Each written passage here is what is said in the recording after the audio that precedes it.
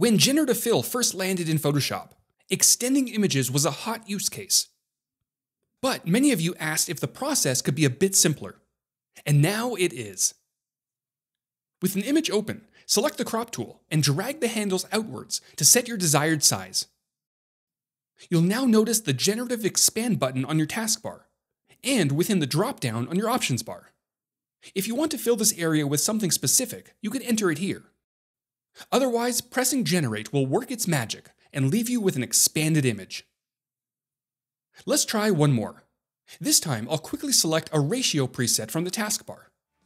Tweak the size if needed, then generate away. Wild. If you want to try this out for yourself, download the latest Photoshop beta and send me your results on Twitter. Or is it X now? I don't know. See you all next time.